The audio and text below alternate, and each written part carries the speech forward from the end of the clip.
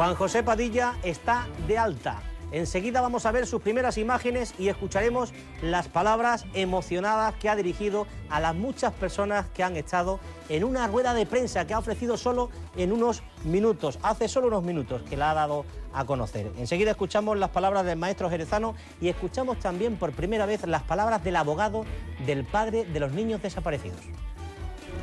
Él se mantiene que le quitaron a los niños que los perdió, ¿qué es lo que dice él? La, la versión que él da en la denuncia. Y, y ya está, y me perdonan porque es que no puedo, no puedo hacer más declaraciones. ¿vale? Está usted de ánimo bajo, ¿eh? Es que el asunto es tan triste que, que- que no se puede estar con un ánimo alto. ¿Eh? ¿Él cree que los niños están vivos? No lo sé. Son las primeras palabras del abogado del padre de los niños desaparecidos de Córdoba, al que enseguida oímos al completo, mientras continúa la búsqueda. La policía no descansa, incluso utiliza un aparato especial capaz de detectar movimientos de tierra en la zona. Ahora mismo le vamos a contar la última hora de la intensa búsqueda de la policía. Y por supuesto que estaremos aquí en directo. Es señal que nos llega a esta hora de la tarde desde las puertas de la finca de los abuelos paternos a las afueras de Córdoba. Ahí dentro trabaja la policía con el padre de los niños detenido desde las 10 de la mañana. Volvemos en solo un minuto y le contamos todo.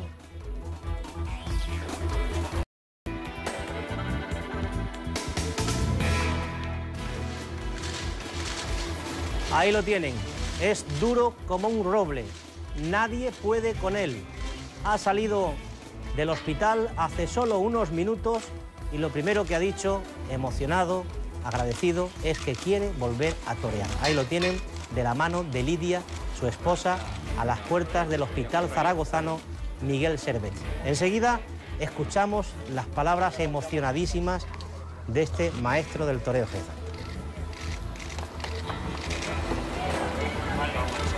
Andalucía Directo, muy buenas tardes para servirles y muchas gracias. Ayer casi 600.000 andaluces conectaron con nosotros y eso nos da fuerzas para seguir pegados a nuestra tierra, que hoy de nuevo no quiere perder la esperanza de encontrar bien a los niños de Córdoba. En eso está la policía a esta hora de la tarde junto al padre que ha dormido esta noche en el calabozo. Hoy estamos en directo en Córdoba, a las puertas de la finca de los abuelos paternos, donde trabaja la policía desde las 10 de la mañana, y con Fernando en Huelva, donde hoy hemos hablado con la familia de la madre de los niños. Enseguida lo escuchamos, pero antes vamos en directo hasta Córdoba. Jorge, en la finca de las quemadillas sigue trabajando la policía desde muy temprano. ¿Qué podemos apuntar a esta hora de la tarde? Pues a esta hora de la tarde, Modesto, podemos decir que hace tan solo ni un minuto acaba de entrar por esta puerta Serafín Castro. Es el comisario que está instruyendo el caso, la investigación de los niños desaparecidos el pasado 8 de octubre. Una imagen, una instantánea que se ha producido hace tan solo unos escasos segundos y todas las miradas se acaban de poner nuevamente en la puerta de esta finca de los abuelos eh, paternos, de los menores eh, desaparecidos de 2 y 6 años, el pequeño Ruth y la pequeña, el pequeño, la pequeña Ruth y el pequeño José. Podemos decir que ya se cumplen más de 24 horas desde que se produjese ayer a las 7 y media de la mañana la detención de José Bretón. Alrededor de 9 horas estuvo ayer declarando en el interior de esta finca el padre de los menores desaparecidos, mientras que la policía científica y judicial estaban realizando diferentes trabajos de investigación y trabajando eh, palmo por palmo en cada uno de los diferentes eh, áreas que colindan con esta zona y también en el interior de esta finca, en una superficie de unos 3.000 metros cuadrados donde se sitúa una eh, plantación de naranjo. Podemos decir que José Bretón en la tarde-noche de ayer salía de esta finca que tenemos a mis espaldas alrededor de las 9 de la noche, iba custodiado por agentes, agentes de la Policía eh, Nacional Ajá. y ahora mismo estamos viendo cómo esta puerta está custodiada por tres agentes de la policía que no han abandonado en un solo momento este punto. Y acabamos de ver, Jorge, al abogado del padre de los niños, como decimos ya en calidad de detenido, tiene asistencia letrada. Hemos eh, tenido la oportunidad de escuchar las primeras palabras de- del letrado que defiende a este hombre, ¿verdad? Así es, el abogado José Manuel Sánchez eh, de Puerta eh, llegaba hace tan solo unos minutos en el punto en el que estamos y ha declarado que su defendido se encuentra tranquilo, que está colaborando de manera plena en cada una de las diferentes líneas de investigación en las que ahora mismo se está trabajando en este caso. También ha asegurado que su defendido en ningún solo momento se ha eh, contradecido de las diferentes declaraciones y versiones que ha dado a la Policía Nacional desde que se diese a conocer la noticia y él diese la primera denuncia a los agentes eh, de este cuerpo de seguridad. Nosotros hemos estado hablando con él hace tan solo unos minutos y estas son algunas de sus palabras. Vamos a escuchar. ¿De qué le acusa la policía? Eso es secreto de sumario, no se puede hablar ahora mismo de eso. ¿Pero es verdad que tiene contradicciones en su testimonio? No, ¿Es coherente? Creo que sí. ¿Cuándo cree que se va a producir el paso a disposición judicial? Creo que el viernes por la mañana. Y entonces ya podría hablar con ustedes porque ya se habla, se levanta el secreto de sumario. Mientras no podemos hacer. Él se mantiene que le quitaron a los niños que los perdió, que es lo que dice él. La, la versión que él da en la denuncia. Y, y ya está, y, y me perdonan porque es que no puedo, no puedo hacer más declaraciones. ¿vale? Está usted de ánimo bajo, ¿eh? Es que el asunto es tan triste que, que- que no se puede estar con un ánimo alto. ¿Él cree que los niños están vivos? No lo sé. ¿Él qué le dice de los niños? Es que no puedo hablar con él. Hasta que no preste declaración en comisaría yo no puedo hablar con él. ¿Vale? Ya, pues muchas gracias. Es una cosa tan triste que es imposible tener buen ánimo para hablar de esto, es lo que ha dicho el abogado Jorge, y el viernes podría pasar a disposición judicial José Bretón. Así es, Modesto, y estas eran las primeras eh, palabras eh, que ha eh, pronunciado el abogado de José Bretón, José Manuel Sánchez de Puerta, nada más llegar a esta finca. Se sigue eh, diciendo por parte de su abogado que está tranquilo y colaborando de manera plena y al 100% en las diferentes líneas de investigación en las cuales se está trabajando en este momento. Y podemos decir que nuevamente Andalucía Directo ha estado en el día de hoy donde tenía que estar, al pie de la noticia y en cada uno de los diferentes escenarios donde se está produciendo la última hora. Hasta allí se ha ido nuestra compañera Lola Trigoso para pulsar la opinión de toda la ciudadanía de Córdoba en una jornada donde también de nuevo se sigue manteniendo muy vivo ese sentimiento de seguir eh, pues con la esperanza y agarrándonos a ese hilo de que los niños siguen con vida, que alguien puede ser que los tenga retenidos y esas son algunas de, la- de las declaraciones que nuestra compañera Lola ha ido recogiendo a lo largo de la mañana. Pasaban las 9 de la noche y finalizaba ayer un intenso día de rastreo de más de 10 horas en la finca de las Quemadillas, propiedad de los abuelos de Ruth y de José. Esta mañana sobre las 10 continuaban los trabajos. Varias unidades caninas y un georradar, un dispositivo especial que permite localizar objetos y estructuras por debajo del nivel del suelo. La policía trabaja con él en aquellos lugares que han marcado los perros o en los que se ha removido recientemente la tierra. 15 investigadores plenamente dedicados a esclarecer el paradero de los dos pequeños. La información llega con cuentagotas y el hermetismo envuelve el caso. Desde el principio las miradas se han centrado también en este otro escenario, el barrio cordobés de La Viñuela. Aquí residen los abuelos paternos de Ruth y José y según la declaración inicial del padre, en esta casa estuvieron antes de que desaparecieran. Aquí la tensión y la preocupación crecen cada día.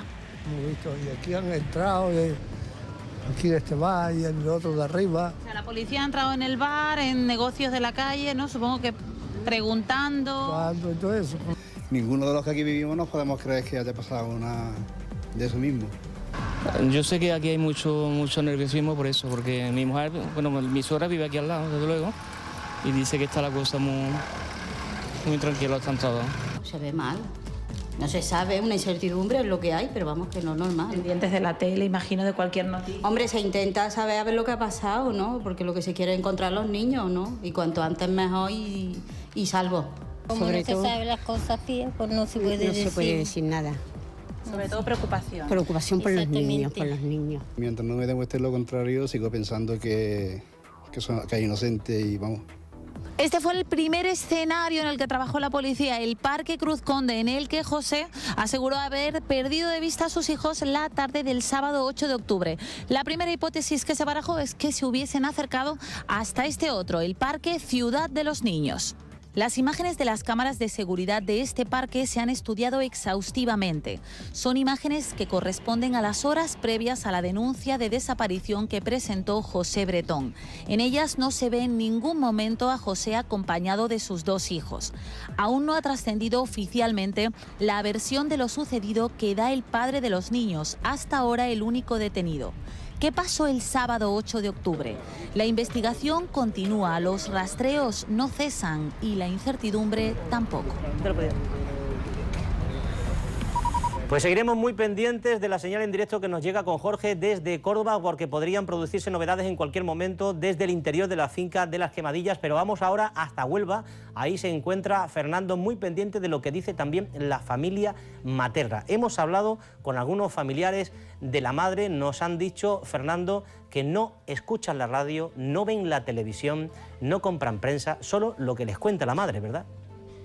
Que viven prácticamente, buenas tardes, Modesto, aislados de toda esa información. Nos confirman que la madre de Ruth y José ha marchado ya a Córdoba, que probablemente lo hizo en la tarde de ayer al conocer las últimas informaciones y que lo haría además acompañada de la abuela de los críos, de la abuela materna de los críos. Hemos estado precisamente en una finca propiedad de la abuela en San Bartolomé. Allí ya solo quedan algunos familiares y, nosotros hemos estado precisamente con dos primos hermanos de Ruth, la madre de los niños, y hemos, eh, hemos estado hablando con ellos. Nos han pedido, nos han pedido que, que no mostremos su rostro por, por seguir preservando esa intimidad, que tampoco demos imágenes o referencias de la finca en la que se encuentran pero no han tenido ningún inconveniente, es más, han querido trasladarnos su testimonio sobre cómo están viviendo todo esto y precisamente hacían alusión a lo que tú decías, no quieren prestar demasiada atención a lo que llega de los medios de comunicación. Disculpen por la imagen que se van a encontrar, pero el testimonio desde luego es interesante.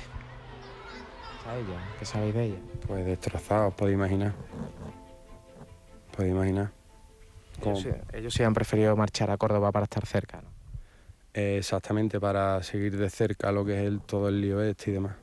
La detención, pues no pensamos que es algo normal de la policía. El último que estuvo con los niños, pues supongo que a él, pues no sé, le estarán preguntando y le estarán esto para llegar a los niños. Si es el último que estuvo, es lo lógico. Supongo que todavía no, no dais crédito a, lo que estamos contando, ¿no? Es increíble, no, no terminas de creértelo y piensas que nunca te va a pasar y pasa. Las cosas pasan. En ningún momento se os pasó por la cabeza, claro, que esto podía ocurrir. Para nada, inimaginable. Eso se ve en la tele y nada más. que te pase en tu casa, en tu familia, ni de coña. Bueno, ¿cómo lo estáis viviendo vosotros? Pues fatal. A la espera de tener una noticia verdadera, que no sea de prensa ni que sea de nada, que sea de, policía, de, la gente que lleva el caso y nada más. Vosotros habéis preferido casi casi eh, ni poner la televisión ni escuchar la radio. Mm, sí, sí, comunicarnos totalmente por el tema de que, de que muchas veces la prensa nos dice toda la verdad o, oculta parte de, muchas cosas. Sin embargo, hay parte de la familia que sí que es la que os mantiene informados, pero curiosamente por lo que escuchan los medios. Exactamente como mi hermana, por ejemplo, que nos llame y nos diga, Fede, pues hemos visto esto, hemos visto lo otro. Pero realmente no te puedes fiar de nada, eso tampoco lo, queremos, tampoco queremos que nos llamen, que nos llame mi, prima que está en Córdoba, mi, tía, y que nos diga tal, lo que sea, pero que sea verídico y por la policía. Sin guardar rencor a mi profesión ni al toro, volveré de nuevo a vestirme de torero porque, porque así está escrito en esta profesión y porque si Dios quiere pronto me voy a restablecer para ello. Más claro, el agua. Lo ha dicho Juan José Padilla, justo a su salida del Hospital Miguel Servet de Zaragoza, donde, como ven ustedes, no ha tenido problema de ninguna clase, a pesar de las dificultades físicas que tiene todavía, de enfrentarse a una rueda de prensa, porque sabe que en España hay mucha gente pendiente de su estado. Está con nosotros a esta hora de la tarde el hermano de Juan José Padilla, Óscar Padilla, al otro lado del hilo telefónico. Óscar, muy buenas tardes. Eh, buenas tardes. Muy buenas tardes. Qué alegría más grande de poder ver ya a Juan José saliendo sano y salvo del hospital y, y con la misma fuerza de siempre, por lo que hemos podido comprobar, ¿verdad? Sí, bueno, gracias a Dios, ya después de 12 días, bueno, eh, en ese magnífico hospital que la verdad que nos han tratado estupendamente y han hecho una labor magnífica.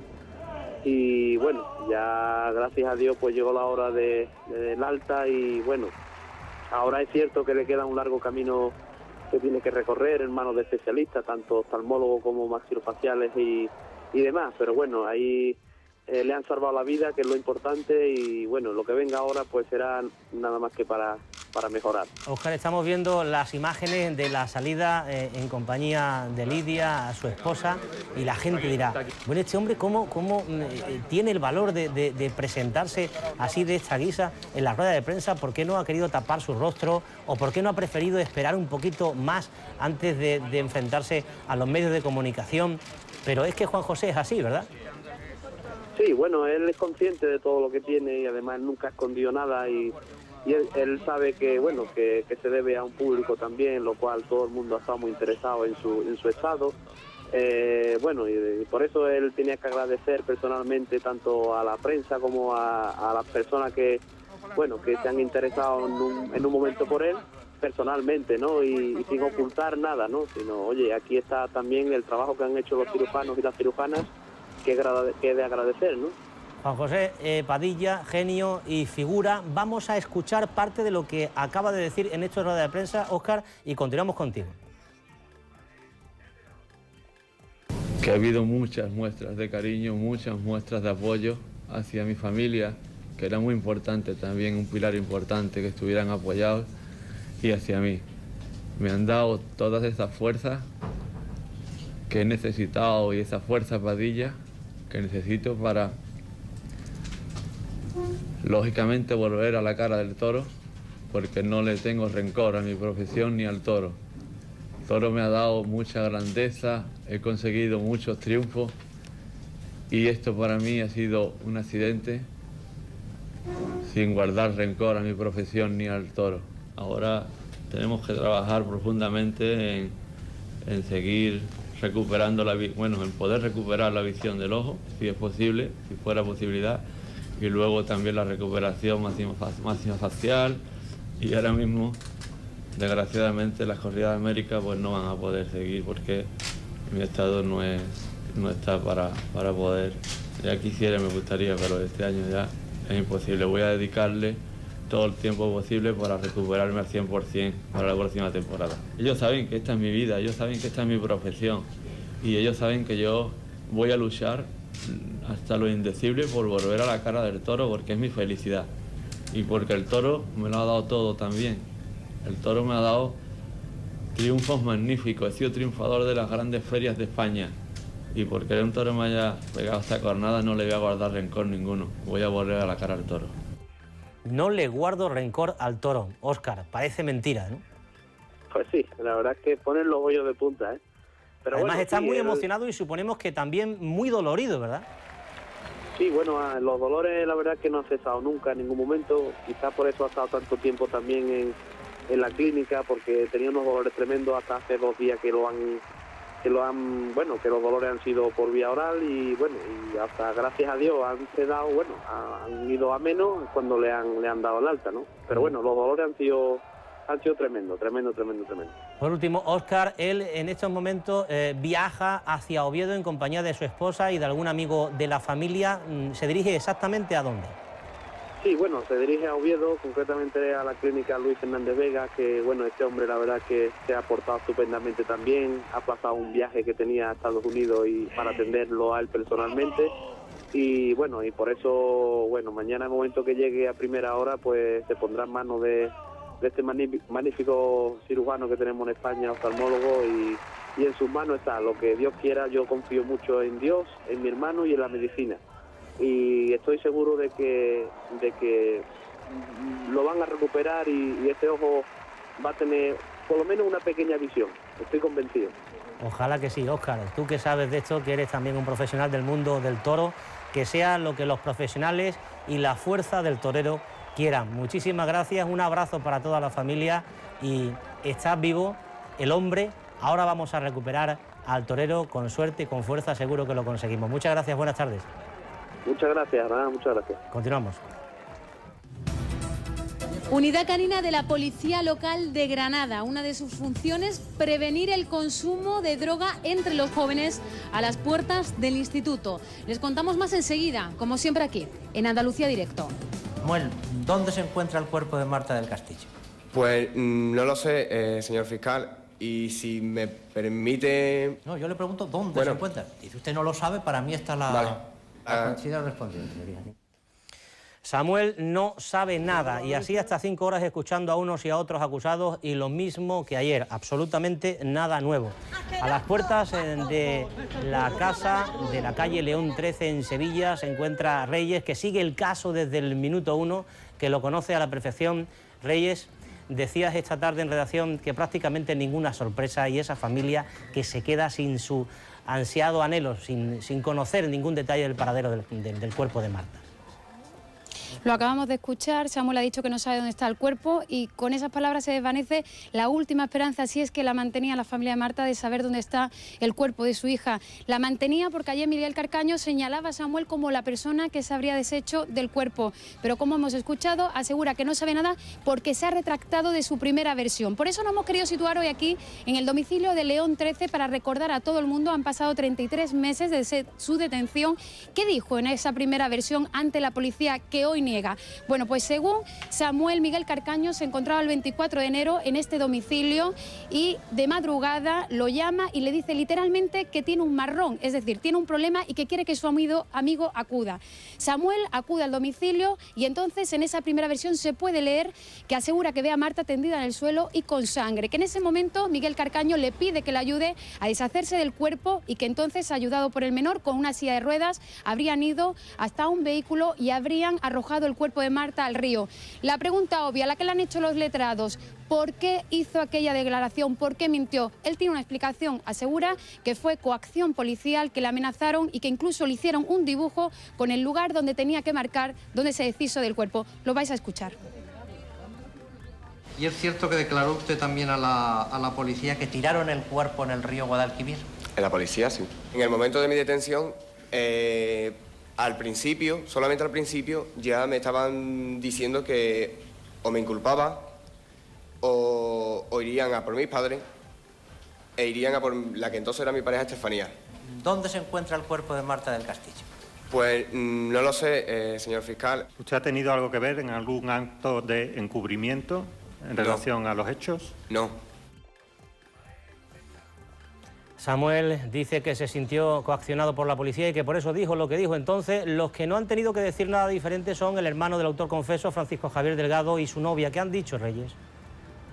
Pues han mantenido la misma versión que dieron desde el primer día. Por eso también hemos ido al domicilio para explicar cuál es su versión. Según Francisco Javier, él se encontraba en el interior de la casa, en concreto en el cuarto de baño, cuando siente que Miguel abre la puerta y entra. Que en ese momento le llama y le pregunta si viene solo. Miguel le dice que viene acompañado. Él no sabe especificar si le dijo Marta, si le dijo una amiga. Lo que sí asegura es que salió de la casa sin saber quién se encontraba en el domicilio. A partir de él marca una ruta donde asegura que estuvo pues, con su mujer y con su hija, que le recogió María, que estuvo en el pub y que regresaría a la casa. Se enteraría entonces a través de una llamada de la desaparición de Marta. Su novia María se sitúa también en este domicilio y asegura que estuvo estudiando aquí durante toda la noche, que no escuchó ningún ruido, que no vio ninguna silla de ruedas, que no vio a Miguel Carcaño ni a ninguno de los imputados. Ellos mismos, con esta tranquilidad, hoy lo han contado en sala.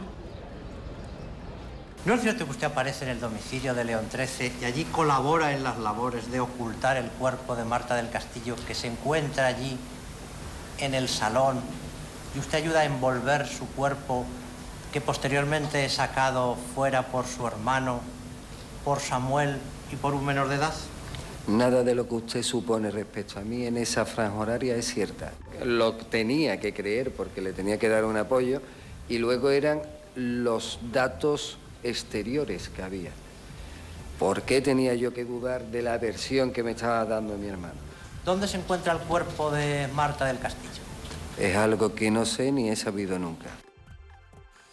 Es duro escuchar estas declaraciones en, en, la sala. Lo que sí queremos escuchar, Reyes, a esta hora de la tarde es lo que han dicho el padre, el abuelo, el tío e incluso el abogado que ha vuelto a hablar contigo esta mañana, ¿verdad? Si estaban todos los juzgados, hemos hablado con la familia, vais a escuchar lo desesperanzada que está después de estas palabras, pero hemos podido localizar a todos los letrados, pero solamente nos ha hablado la acusación particular que también ha hecho su valoración. Pero no solo eso, mañana se podría conocer la sentencia del juicio del menor y hemos querido Ajá. saber si eso puede influir o no en este juicio. Lo vais a escuchar. Como habéis escuchado eh, y han declarado, pues resulta que nadie sabe nada y, y me parece que nos vamos a quedar sin, sin saber dónde está Marta. Las contradicciones y mentiras han sobrado en este caso, es lo único que hay. Contradicciones y mentiras, lo que es que lo que hace falta es que el juez las valore y, y vea que están mintiendo todo. Debería de haber una condena si la hay que sea ejemplar porque estamos viendo de que esto va a sembrar escuelas y, y no es la primera vez que va a pasar. Están ajustando a sus defensas eh, con mucho vacío, con muchas contradicciones y bueno, esperemos que si no dicen dónde está el paradero de Marta y no cuenta lo que ocurrió aquella noche, pues caiga todo el peso de la justicia y sea contundente y que los magistrados vean cómo estos individuos no se arrepienten de lo que han hecho y no tienen ninguna sensibilidad hacia la familia. Mi valoración es que hay algunos puntos que chocan o con datos objetivos que están en el sumario o con otras pruebas, otros testigos o con el sentido común. Es decir, hay reacciones que no son explicables eh, para lo que ellos dicen que pasó, ¿no? Estamos en este juicio, pero pensando también en la sentencia del menor. Hombre, por Esto- supuesto, claro. Claro, He dicho ¿Podría que salir en breve? sí, creo que va a salir mañana esa sentencia y que puede acondicionar a este juicio que tenemos entre manos. ¿En qué sentido? ¿Para bien o para mal? Yo creo que para mal, creo. Espero que no sea así, espero que no sea así. ¿eh? Conchi ve la vida con una sonrisa, ve la vida de rosa, viste de rosa y ha conseguido superar un cáncer de mama. Enseguida les vamos a contar su historia de optimismo y sobre todo, ¿verdad?, de superación. Será como siempre en unos momentos aquí en Andalucía Directo. Será la llamada de la esperanza en este Día Mundial del Cáncer de Mama. Esta sigue siendo la señal que nos llega en directo desde Córdoba, en la finca de las Quemadillas, donde trabaja la policía con el padre de los niños desaparecidos desde las 10 de la mañana. Podrían producirse novedades en cualquier momento. Volvemos en solo unos minutos.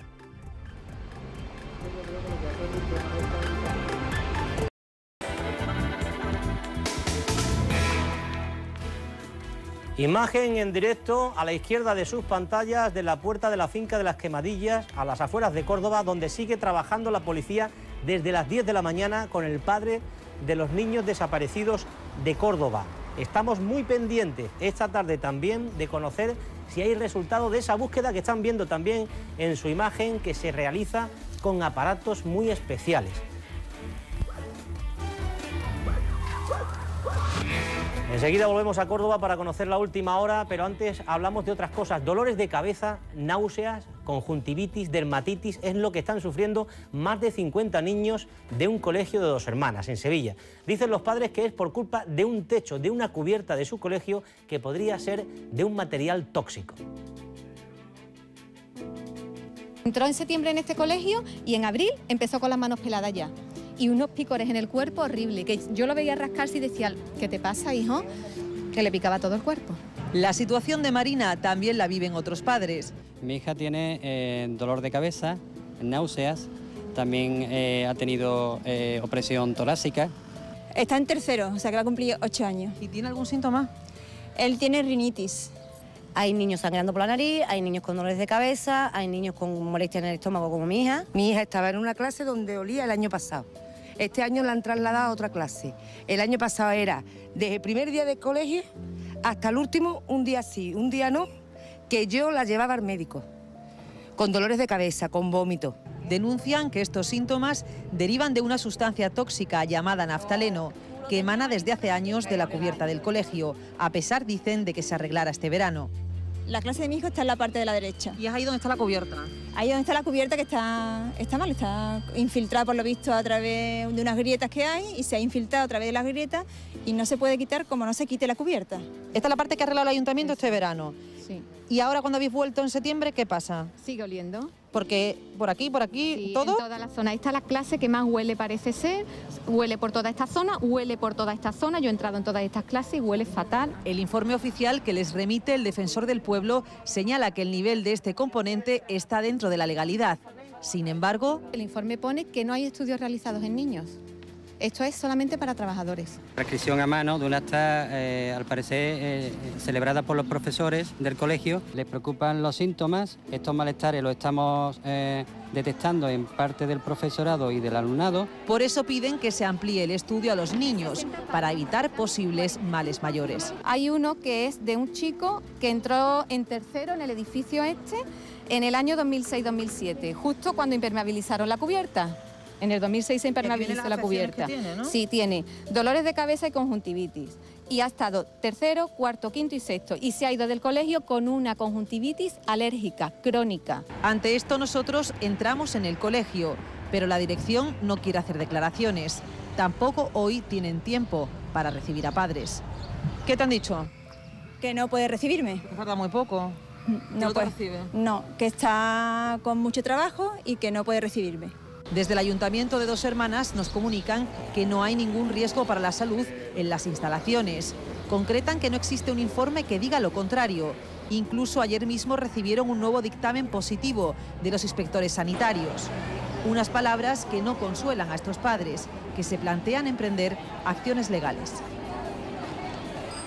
Pues ahora sí retomamos eh, el asunto de los niños desaparecidos. Queremos saber si hay alguna novedad. Estamos en directo a esta hora de la tarde en Córdoba con Jorge, a la puerta de la finca de las Quemadillas, y en Huelva con Fernando. En primer lugar, vamos hasta Córdoba. Jorge, ¿alguna novedad? Pues de momento, Modesto, lo que podemos decir es que José Bretón lleva alrededor de nueve horas y media en el interior de esta finca, acompañado por su abogado y el comisario que lleva las diligencias de este caso, Serafín y Castro. En este momento siguen los trabajos de búsqueda por si se encontrara algún indicio, alguna pista, algún rastro de los menores desaparecidos. Se sigue trabajando en el interior de esta finca con un georradar, que es un aparato que se trabaja con eh, radiofrecuencia y que sirve para eh, detectar algún objeto o alguna estructura eh, en el interior del suelo. Este aparato habitualmente se suele, trabaja- se suele trabajar con él en este tipo de casos y es justamente ahora mismo lo que está haciendo la Policía Nacional y la Policía Científica en el interior de esta finca. De momento, Modesto, sí podemos decirte que estamos a la espera de que en los próximos eh, minutos se produzca la imagen y que veamos algo más de movimiento en esta calle que a estas horas de la tarde sigue eh, cortada, no se puede acceder a esta carretera. Hay dos cordones de, de policía, uno en la zona, en la línea donde nos encontramos ubicados eh, periodistas, fotógrafos, cámaras de televisión eh, y, otro, y otro cordón, el que tenemos justamente eh, en el fondo de la calle que impide el tránsito de cualquier vehículo. Mientras tanto, la puerta de la finca, como puede estar viendo, sigue custodiada por dos agentes de la Policía Nacional esperando el momento en el que el padre de los menores desaparecidos salga acompañado por su abogado y por Serafín y Castro, el comisario que ahora mismo está instruyendo este caso de las puertas de esta finca. Suponemos que esto va a suceder en breves instantes. Pues mantenemos la guardia, mantenemos la señal. Jorge, estamos deseando dar la noticia, deseando dar una buena noticia, que es lo que esperan en Huelva. Fernando, todavía recordamos la imagen sonriente de la portavoz de la familia ayer, en la que casi se atisbaba esa buena noticia que, que todavía no ha llegado, ¿verdad, Fernando? Ojalá llegue pronto. Desde luego, un sitio modesto en el que eh, viven a flor de piel todo lo que está pasando es la guardería del pequeño José, la guardería Clarines. Fíjate lo que han puesto en la, en la misma fachada de la guardería, este, eh, este lema en el que podemos leer los niños tienen derecho a crecer en libertad, a vivir en armonía y a tener una infancia feliz. El personal de Clarines de esta guardería espera volver a tener pronto a José entre sus niños y recibir a Ruth como todos los días a buscar a su hermanito. Os mandamos vuestro apoyo y vuestra fuerza, Pepa. Bueno, porque habéis puesto este cartel en la guardería. porque es lo que sentimos. Estamos esperando a, a Ruy y a José. ¿Y cómo estáis después de 12 días con esa ausencia tan, tan, tan pequeñita, permite que lo diga así, pero a la vez tan grande, ¿no? Lo digo por, por- por los dos añitos nada más de José. Pues imagínate cómo se puede estar, recordando cada minuto, si nos vamos al casillero de los pañales, está el nombre de José, y si nos vamos a otro lado está José, y por todos sitios José. Bueno, yo sé, Pepa, que es difícil que esté con nosotros ahora, lo sé porque, porque además me has pedido antes que fuera yo quien leyera lo que habéis puesto en la fachada de la, de la guardería. Pero está siendo fuerte. ¿Y las profesoras y el resto del personal de la guardería? Todo el mundo muy fuerte, porque es que, vamos a ver, los niños nos dan... Cuando entramos en este mundo es que ellos nos da tanto que no te das cuenta, se echa mucho de menos. Además, intentamos de no hablar del tema, algunas veces algunos hacen alguna preguntilla y no, bueno, pero lo soportamos muy bien porque ellos te dan esa fuerza, los niños te dan eh, el que te necesitan tanto que ahí tienes que estar tú cantándole, jugando y se te va, se te va. Pero a la misma vez te viene puestos los recuerdos de, de todos los días. José era muy especial. En estos días atrás nos comentaba Pepa que bueno que normalmente era precisamente eh, José Bretón, el padre de, José, quien venía a, recoger a José habitualmente y demás. Es inevitable que después de la noticia de su detención te pregunte Pepa por ese trato ¿no? con, con el crío que vosotros veíais en la guardería. Pues completamente de lo más normal, como cualquier otro padre, o sea que no hemos, no hemos observado nada, nada absolutamente, absolutamente dentro de la normalidad. Oye, ¿los críos, el resto de compañeros, también echan de menos a su compañero José? Pues sí, algunos sí. A pesar de ser tan, tan, tan pequeños. Pues sí, y además están pendientes. Están pendientes a cualquier cosita. ¿Se sabe algo de la policía? La policía está buscando a, a José. O sea, tan chiquitito y como sí. ¿Y cuáles son las últimas forma- informaciones que llegan? ¿Está en contacto con las familias de la guardería? Eh, yo la llamé el primer día, no he querido molestar más porque sé que esto, sí, para mí es horroroso, para su madre. Pepa, ya para terminar, eh, si quiere dejar algún mensaje, ahora que afortunadamente hay muchas personas viéndonos, eh, para que si alguien puede echar una mano, que lo haga. Ahí tiene esa cámara, Pepa.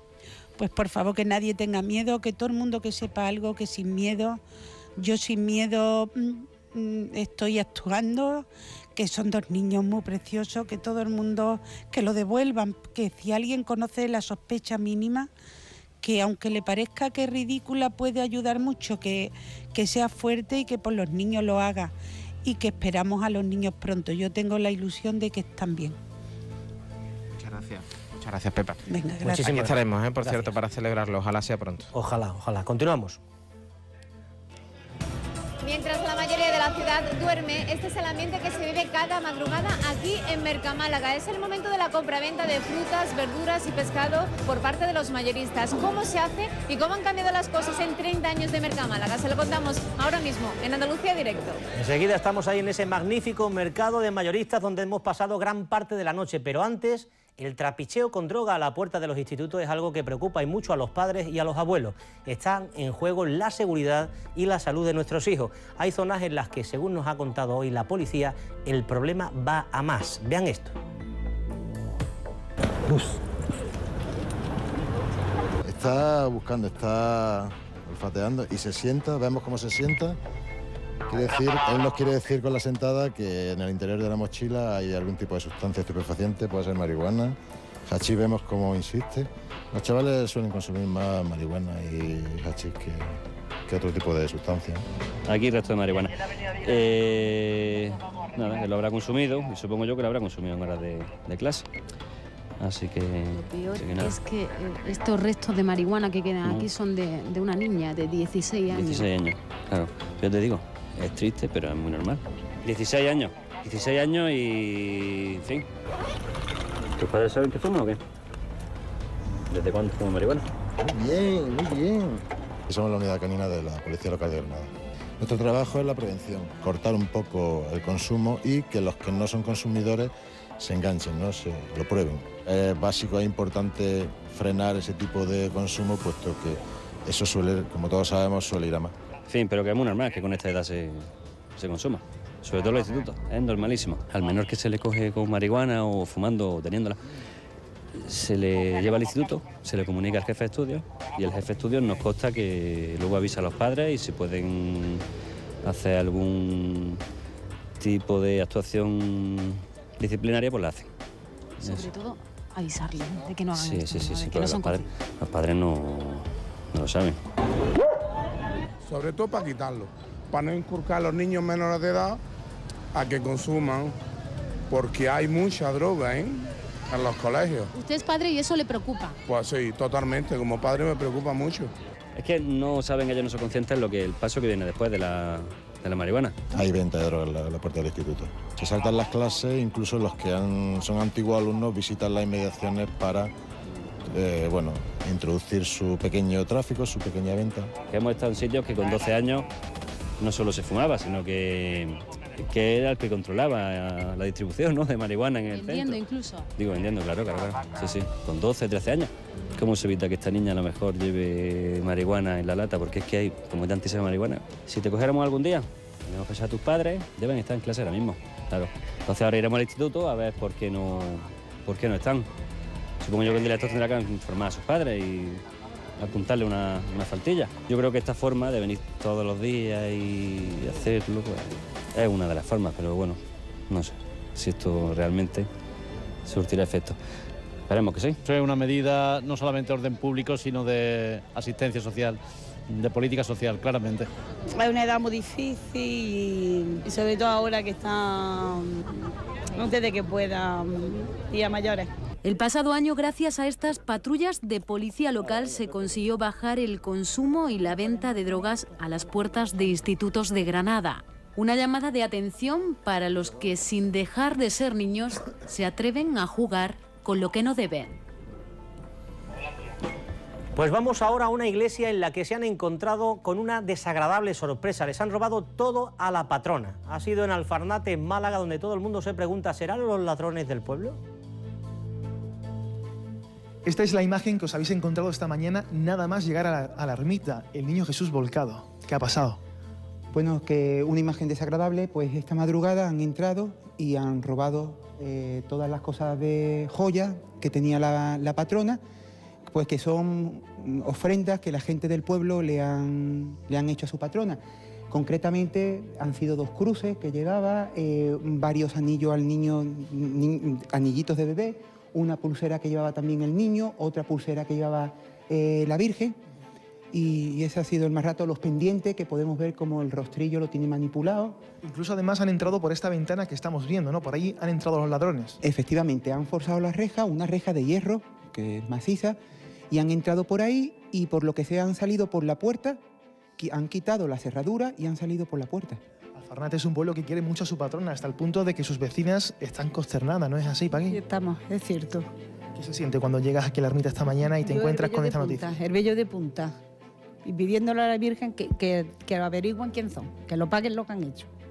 Paquita, tú también te muestras realmente consternada, ¿no? que, que estas cosas que son tan sagradas y tan buenas, que porque se le hace daño. Sabemos que el mundo está como está, pero para hacer daño de esta manera no. Que Alfarnate está hoy hecho polvo. Que estamos preocupados porque el niño no sabemos si tiene daño, si está roto, porque no se puede tocar. Lógicamente la imagen no se puede tocar porque Antonio y la Guardia Civil Científica ahora trata de coger huellas. Efectivamente, de hecho hay, hue- hay huellas, como en la sede, podemos ver una huella, y te- estamos esperando que vengan para que tomen, y la imagen igual, porque dicen que la imagen estará manipulada y que hay que, que verlo. Pues con esta imagen nos quedamos aquí en Alfarnate, el niño Jesús volcado. Ojalá haya pronta solución a las investigaciones. Y ahora van a ver a un grupo de médicos y enfermeros. Los han pillado bailando en pleno trabajo. ¿Creen ustedes que están locos?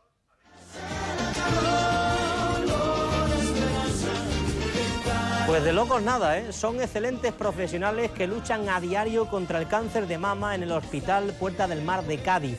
2.500 casos de cáncer de mama se diagnostican al año en Andalucía. La prevención sigue siendo la mejor respuesta a una enfermedad que es la segunda causa de muerte entre las mujeres. La prevención, la esperanza, la ilusión y la alegría de gente como esta que están viendo y las que van a ver ahora.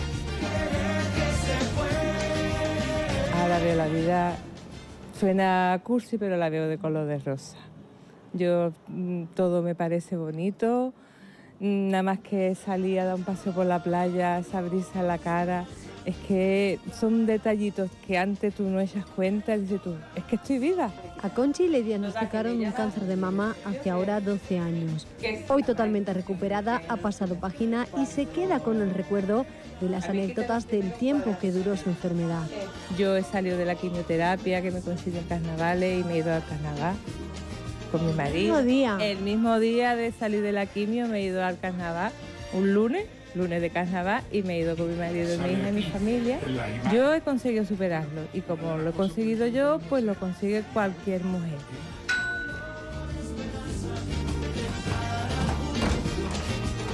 Hola, ¿Qué pasa, hija?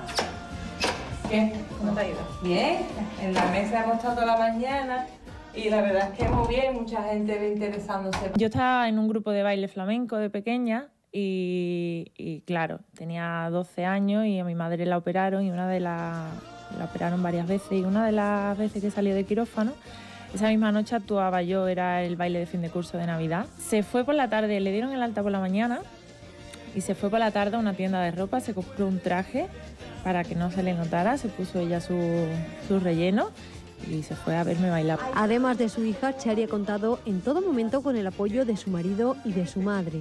Me reñió mucho con ella, porque Rebe le decía, Chari, como nos decimos nosotros a ella, Chari, no haga eso ya con el brazo. Le decían que hiciera ejercicio con la mano. No subía aquí, sino ella subía hasta allí. Chiquilla, ¿qué te va a lastimar? Nada. Se metía en limpieza. Las cortinas, yo aquí con ella. Chiquilla, no ponga las cortinas. ¿Me quiere dejar, mamá? La Yo- bolsa de la compra también la cogí. la, la bolsa y todo lo que hubiera. Y chiquilla, si, si te han dicho que no hagas. Cristina, dime, ¿nos vamos a dar un paseíto? Venga, venga. El día muy bueno. Mi solo se iba a los escotes de las mujeres. Todo el día me quedaba mirando los escotes de las mujeres. Y estábamos un día dando un paseo por la playa y muy seria íbamos los dos de la mano y le digo, Javier, creo que me estoy volviendo lesbiana. Y el otro me mira muy serio. Digo, ¿por qué no más que miro las tetas de las mujeres? No miro otra cosa. Pero era la obsesión que tenía yo con, la, con lo que había pasado. Roneando, sí. Ahora tengo más, ahora tengo más que tú y mejor puesta que tú. ¿Cómo debemos de hacernos la palpación? Tanto de pie como tumbada, con la mano abajo y tocándonos el otro pecho y entonces hay que palparse como si fuéramos un acordeón alrededor de la aureola. Entonces esto siempre hay que hacerlo una semana después de las reglas. No me negarán que el de Conchi es todo un ejemplo de lucha, optimismo y superación. Y es que estamos ante una enfermedad que el 80% de las mujeres logran superar. Es el mensaje de alegría y esperanza en este día. Peluquería más solidaria, Modesto, con la que hemos encontrado hoy aquí en Coín. Aquí, fíjate, todas estas mujeres que están ahora mismo peinándose, cortándose el pelo, están contribuyendo a luchar contra el cáncer de mama, porque hoy los cortes que se hacen aquí, hoy van a ir destinados precisamente a la lucha contra esta enfermedad, contra esta lacra. Está viniendo gente incluso de Málaga, como esta chica, que te están dejando preciosa. ¿eh? ¿Has venido de Málaga solo para contribuir con tu corte de pelo? Así es, sí. Me parece una ocasión muy buena que todo, hoy en día todos conocemos a alguien que, que está sufriendo esto, directa o indirectamente, y es una manera de aportar nuestro granito de arena. Es un caso el suyo muy particular. Todas están vestidas, como lo ves, para la ocasión con su pañuelo rosa. Estáis guapísimas, chicas, ¿eh? hay que decirlo. Gracias. Y fíjate porque hasta incluso a esta peluquería han llegado rostros muy conocidos para todos nosotros, como por ejemplo el de Isabel o el de María Delgado, que es como se llama ella, que la conocéis, actriz de la serie Rayán. ¿Habéis venido para acompañar también a estas mujeres en este día tan especial? Sí, hemos venido a María Garralón, cosa que ya se ha tenido que marchar de viaje y ahora estamos pasando poquito a poco los actores que no estamos trabajando hoy y le estamos apoyando esta causa que, claro, este tipo de iniciativas hay que, hay que apoyarla desde donde sea. a Rayán y sus actores también haciendo honor aquí a la causa. Y todas estas señoras que están aquí detrás están guapísimas todas, ¿eh, señora? Están bellas, vamos. Se nota, ¿eh? El paso por la peluquería solidaria. Exactamente. Y con su pañuelo rosa, como decimos, una iniciativa muy importante. Ven para acá porque te quiero enseñar.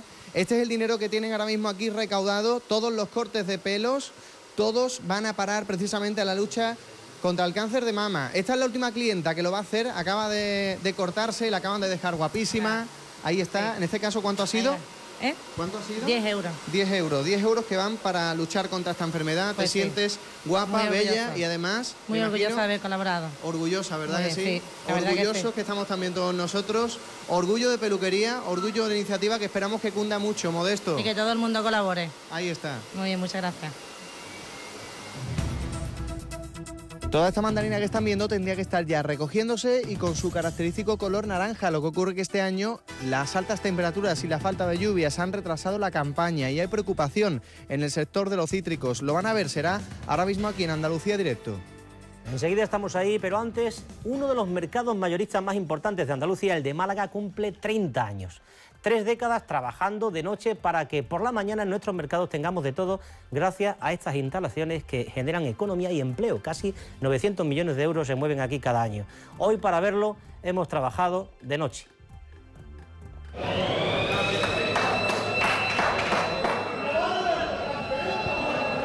Suena la sirena, se abren las puertas de la venta de pescado en Mercamálaga. Son las 5 de la mañana. Vamos el atún, vamos la melucita barata, vamos los ureles, las sardinitas, los ureles. Venga, tiene calidad hoy, sí, sí, hoy sí, tiene calidad, fue pescado ahí. Aquí se llega, se aparta el pescado que uno quiere, selecciona uno lo que no le gusta, luego carga y se lo lleva a los puntos de venta. A huevo estamos cogiendo, hija, para ronda. Estoy comprando huevo para ronda. Sí. ¿Y cómo se hace eso? Le pregunto el precio y me dice a mejor a 10 o 12 euros y le recatea un poquillo. Se negocia un poco el precio. Ahí está, sí, se negocia. Se baja un poquito. Siempre, siempre se baja algo. ¡Vamos, vamos! ¡Vamos los salmonetes! Pues arreglado a la venta que tú tengas tienes que comprar. ¿Cuánto se lleva usted? Yo me llevo 5 o 6. 5 o 6. ¿Ese le gusta para llevárselo para Sevilla? Sí, un pecado más corto, más chiquito, ¿Y a qué hora se viene usted para acá? a las 2 y media.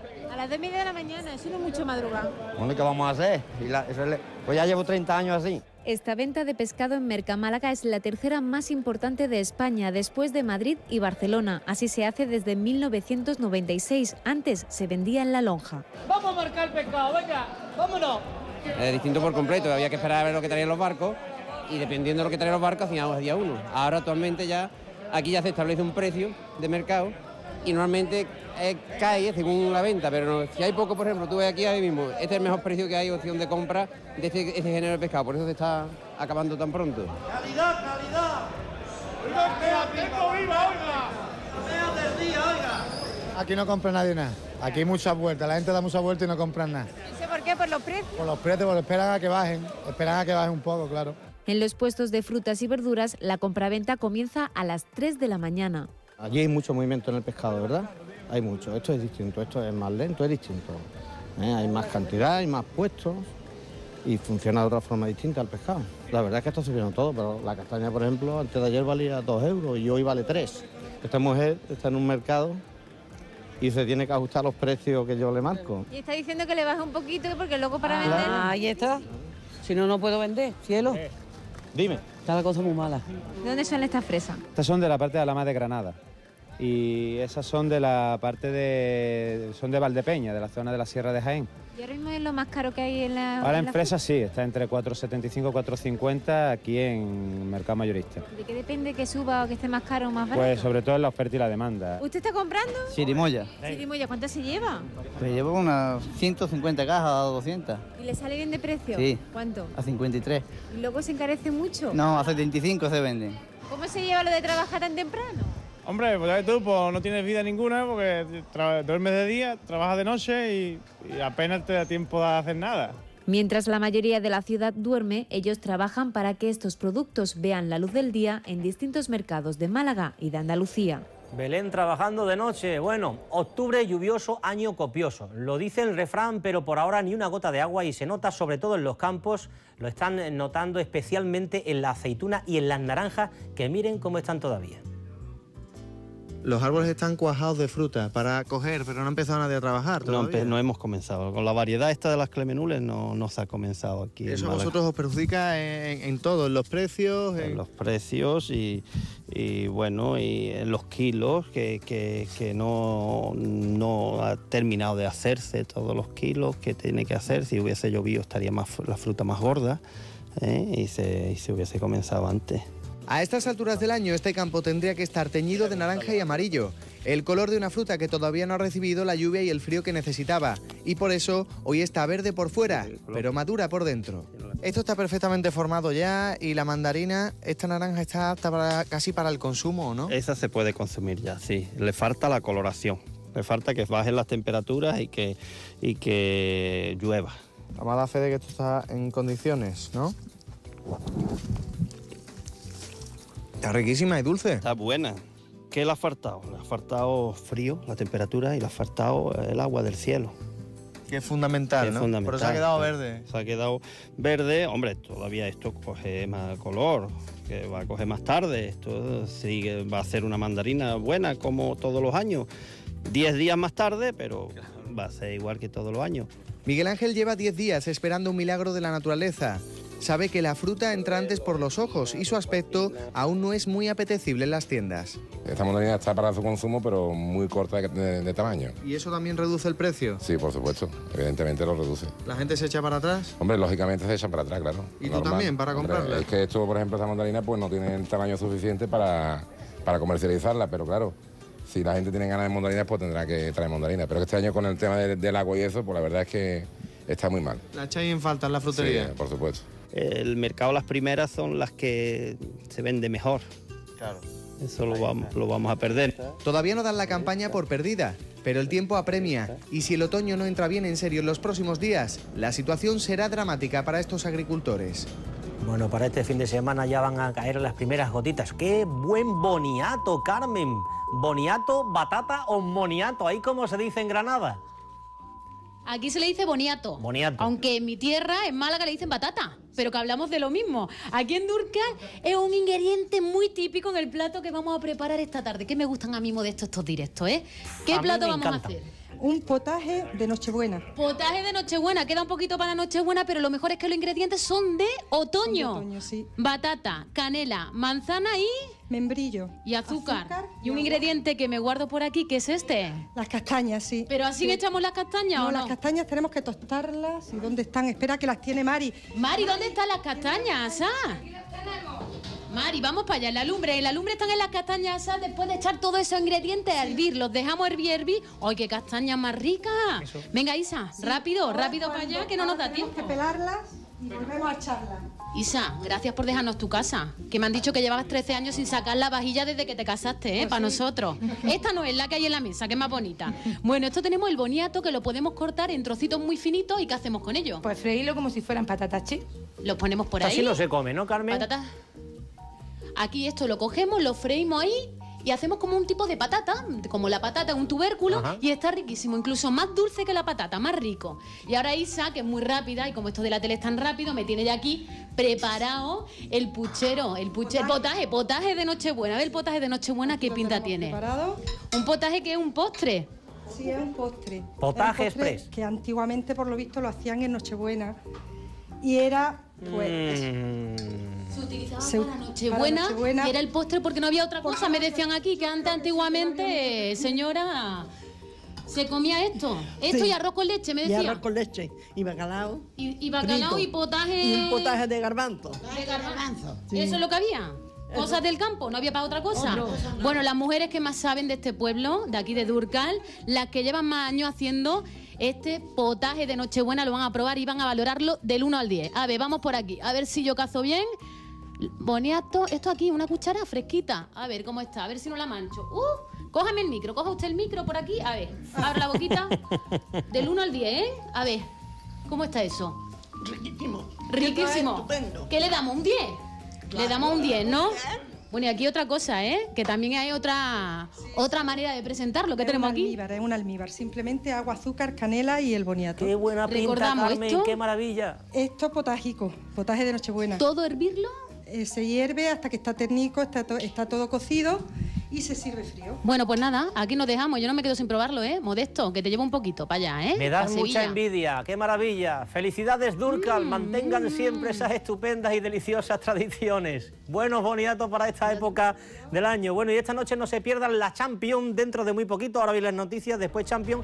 Y esta noche, Siete Almas. Atención, estreno en televisión con Will Smith, que tras causar un accidente de tráfico se empeñará en salvar la vida de siete buenas personas.